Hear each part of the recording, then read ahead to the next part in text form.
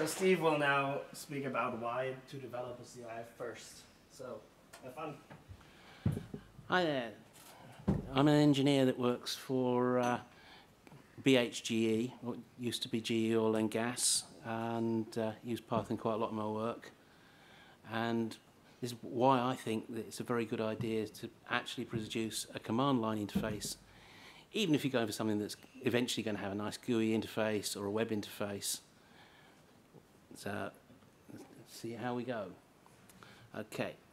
There's lots of things to think about before you actually start um, doing your GUI. What controls are going to be putting on there, what you need it to do, the functional things, which actually comes down to your code. And after all, the really important part, unless you're a graphics designer, which I know there's a few here, is what does the code do? Does it work? Yeah? Putting a GUI on can take a lot of time and if you're not a graphics designer, tends to produce a mess. For, for many of us struggle with that sort of thing. It's great on the coding, but getting it looking, looking nice and working, two different challenges. Personally, I think putting a GUI on mm, at the beginning can leave you trapped in things that you don't actually need and spending a lot of time on the GUI development before you've done any coding.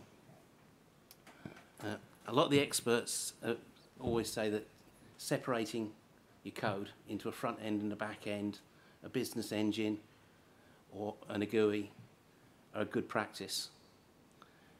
Putting command line interface in first tends to be a nice slender thing and gives you a degree of that separation. Yeah?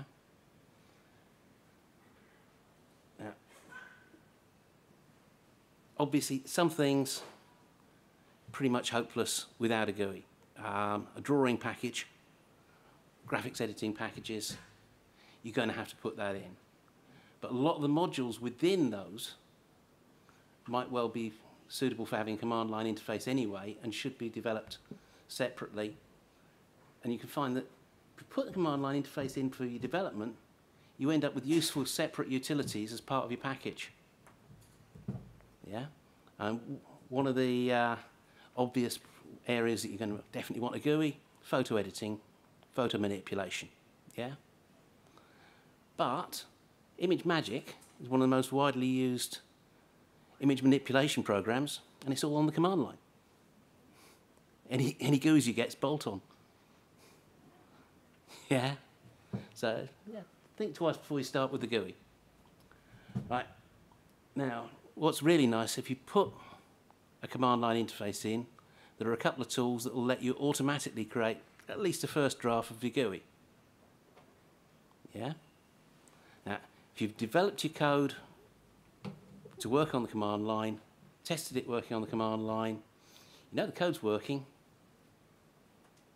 you've maybe got the useful utilities, if you can then bolt on a GUI rapidly, that might be the end of the job. Or turn it over to the graphics designer.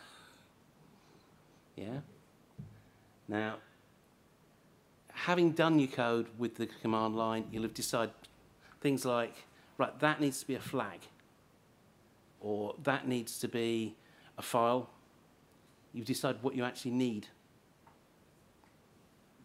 Once you've decided what you need, that tells you what you want in your GUI. Flags are going to be options, tick boxes, or toggle menus. A file is going to be the drag or drop or a file selector. Yeah? Multiple files, same thing. If you've got things that are exclusive choices, they're going to end up being radio buttons. But until you start coding, you're not going to find out, or, unless you've got a really good spec. And frankly, that doesn't happen very often.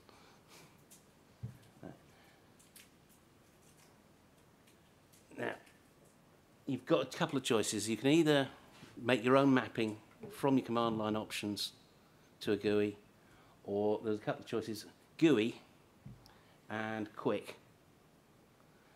Which of those you use depends on a couple of issues. If you develop your, your command line using argparse, then it's in the standard library.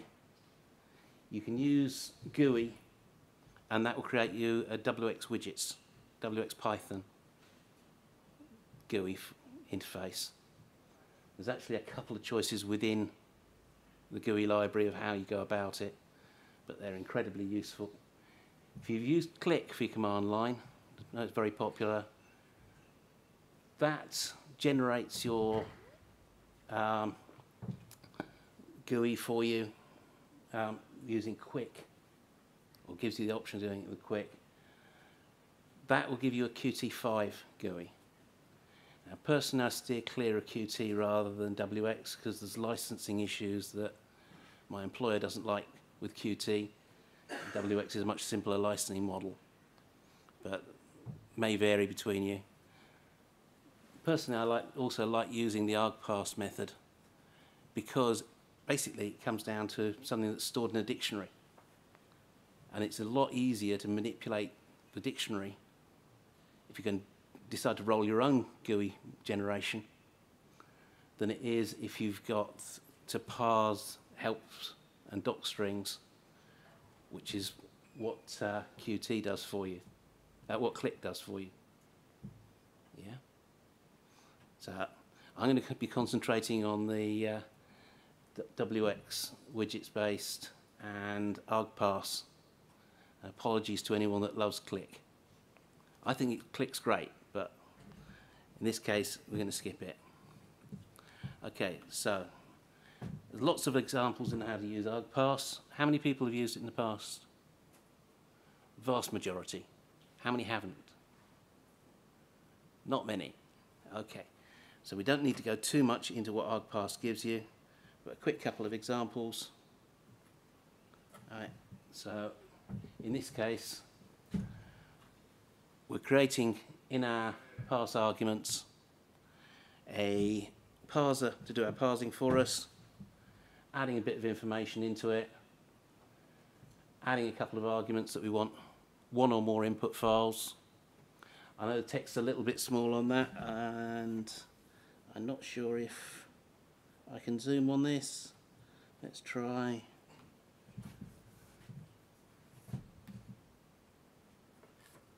No, don't have the option, I'm afraid. I will be posting uh, the actual code up onto GitHub. Maybe control and plus. Hmm? Control plus. Let's try it. Control. Ah, hooray. New feature in this IDE since this last time I tried that.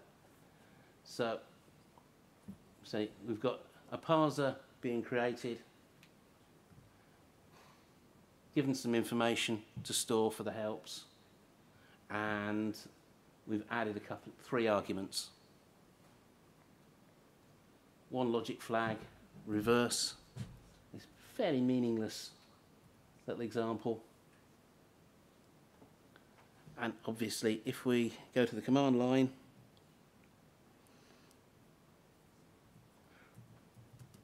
we can just run that with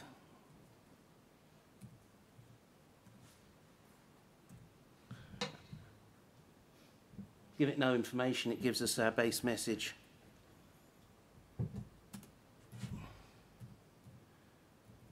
If we ask for help, it tells us what our options are. And in this particular case, if we just give it a file name,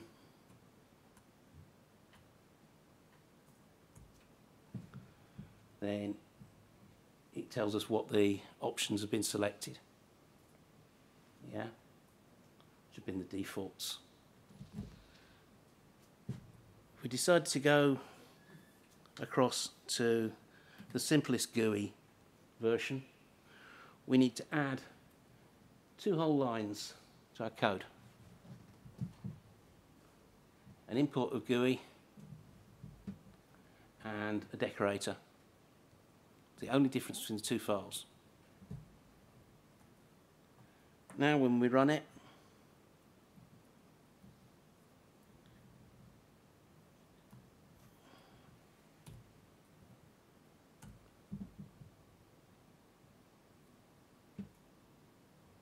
should get a GUI. Not bad for two lines, is it? Okay, it's rough and crude, but it does more or less the job we need. One of the things I don't particularly like about this is that uh, your files is a type in or paste in field. But luckily, ArgParse does give us a way around this. Is that now cross-platform? Yep, wxPython is um, available and pip installable on most platforms and is Python 3 compatible now since version 4, which is uh, a big step forward. Uh, as is the pip install. Before it was an exe to install, which was a little bit more troublesome and you couldn't use it in virtual environments very easily. Um, they made great strides on that. So, if we go to our third demo, third example, we've got exactly the same code again. This time, we're using Gooey parser instead of our standard parser. Yeah? And we've added to our in-file option an override of widget equals file chooser. Yeah? So, not a huge difference. This time, when I run it, we get a slightly different GUI. We've got a browse button. And we can pick our file or files.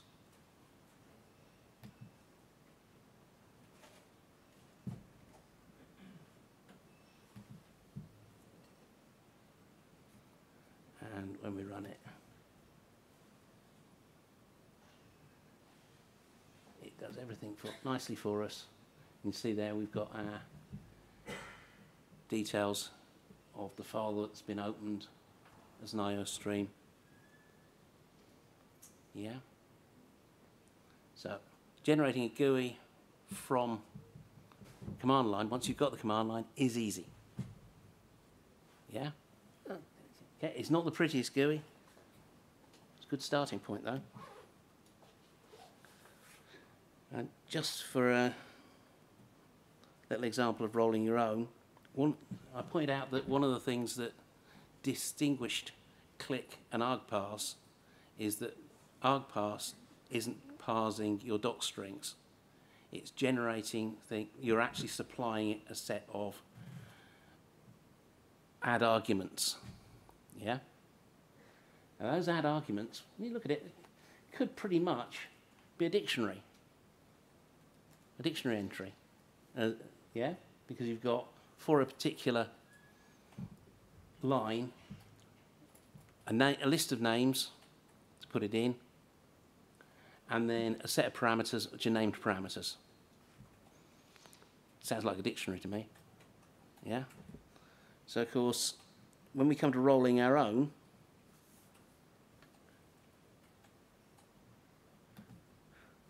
we can use the same sort of trick.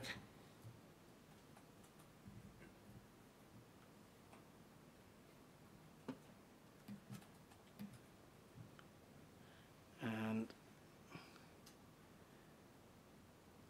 in here, I've got a list of dictionaries one for the command line arguments, or command line, um, and one, come on, page up.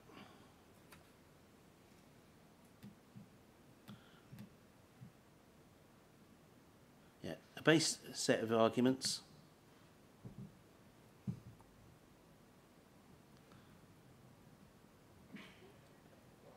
A set of optional arguments command line arguments, or command line only arguments, and graph GUI only arguments. This is an example of rolling your own, yeah? And basically I'm parsing those and using those to generate a WX interface myself. And just to give you a flavour of what that looks like,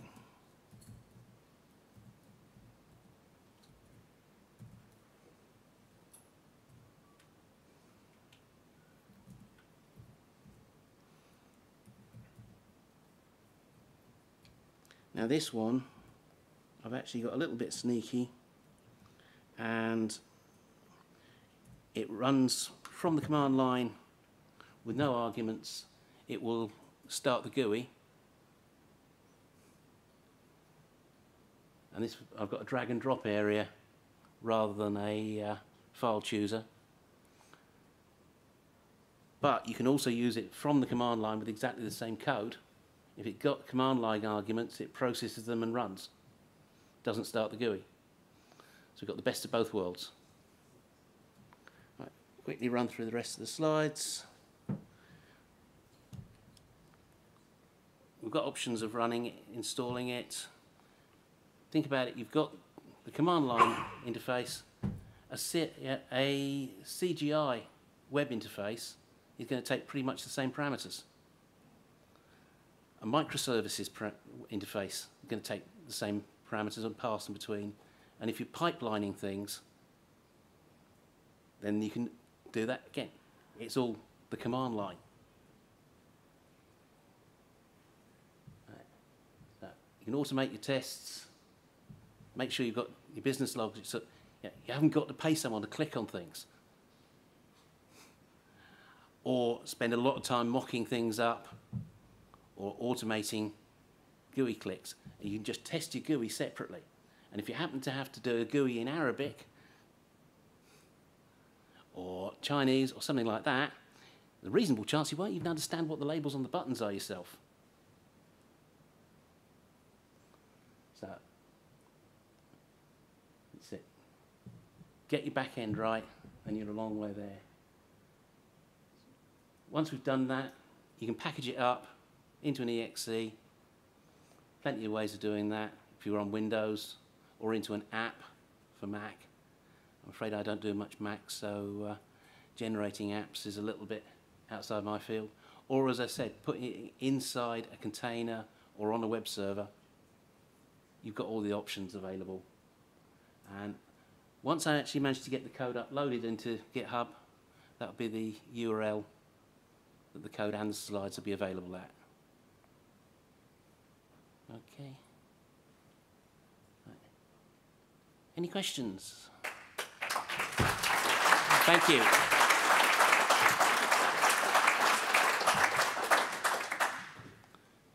The one I noticed there that obviously between your command line arguments and the GUI arguments, you have to create two separate sets. There's a way of doing it where you only need to create one set of arguments that's useful on both sides. It depends on what you're doing. There, I mean, for the GUI, I wanted to have the option of preserving which tick boxes were selected. And I didn't particularly didn't want that option available for the command line. So just separating them out into two separate lists was, made life a little bit easier.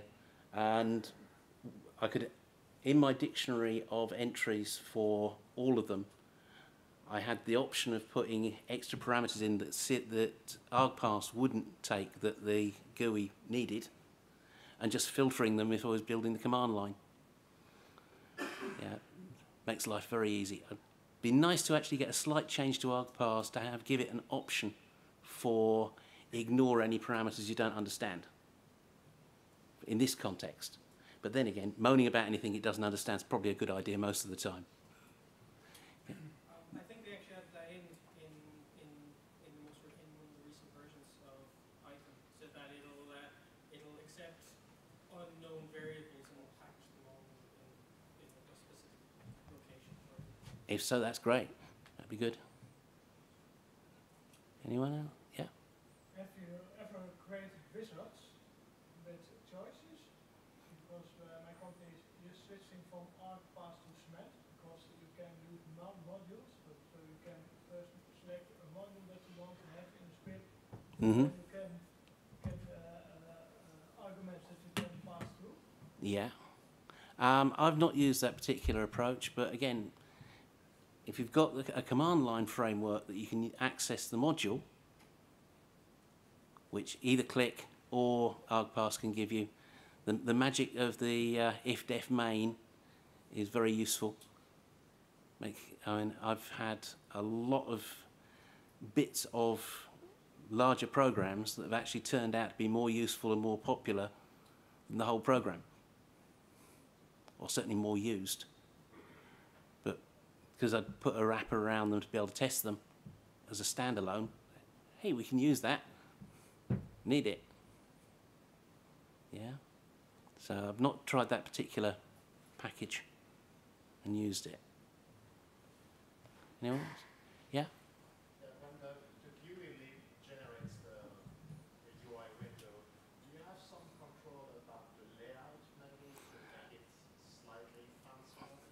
In general, it tends to the automatic generation tools tend to just go on the order of the arguments um, and do their own thing. Obviously, if you're gener- with the roll your own example, I've got to choose and say right, these are all going to be in a block or a group, and then you can do it. And it's actually not. I was pleasantly surprised how easy it was to generate your own automatically generatable GUI rather than generating a GUI separately. It's, pretty much a one-to-one. Yeah, almost every GUI, and of course you could take the same approach for rolling your own if you want to use a different GUI library altogether, one that's not supported. Then that's fine. You just work out your mappings. Say right, from my list of arguments, these are the options I need to produce and the types of the options. And just about every GUI library that I've come across gives you a way of selecting files or file paths. It gives you a way of selecting on off options, a way of making choices, a way of triggering events. Not a lot else to do. Any more? Yeah? Is it possible to get the code that generates the GUI so that you can do minor customizations? Yeah. It's all open source code. No, I mean, um, the, the library generates the GUI for you, but in the background it generates some code for that GUI to render. Is it possible to get that code? it's you could adjust the library. The current libraries, I don't, as far as I know, actually generate a GUI code as such. I think there's actually a couple of um, other libraries that do the same sort of thing, but generate Java GUIs for you for the web interfaces, and those you could probably tweak afterwards.